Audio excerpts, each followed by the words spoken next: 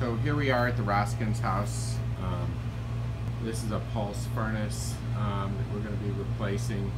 Return drop's fine. We can just reuse that. Um, probably just need a new air cleaner in there. We're going to reuse the existing coil and uh, air conditioner that's there. We're just doing the furnace only. So one of the biggest challenges to this job is the PVC. So there's only two inch PVC.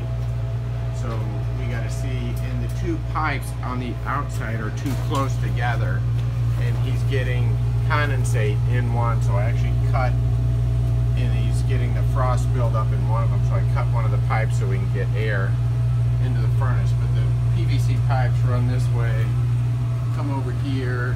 Um, let me just show you where they run. So they're coming this way. Um, these mufflers can be cut out, but they go across the ceiling. You could probably fish new pipe across the ceiling here.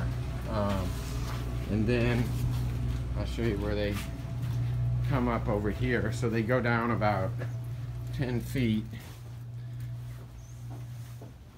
So here's the other side of that wall that we were at. There's a mirror there, so no depth perception. Then they come up here and they go outside.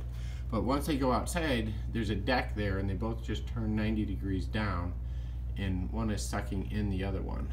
Um, so uh, that needs to be that needs to be changed. Um, we come up with a better better plan here on how to discharge this pipe. Uh, thanks guys.